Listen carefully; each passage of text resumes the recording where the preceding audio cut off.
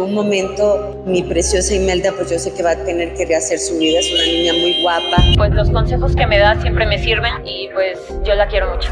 Y pues yo creo que va muy bien conmigo. Me gusta más porque suena diferente. Pido a, a Dios que pues me dé valor para entender todas esas fases.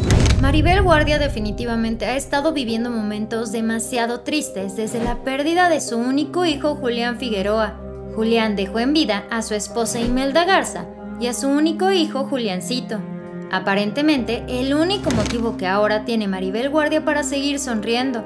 Sin embargo, a través de una entrevista, ella aseguró que sabe perfectamente que su nuera en cualquier momento podrá volver a casarse y buscar pareja, pues ella todavía es muy joven y es muy guapa.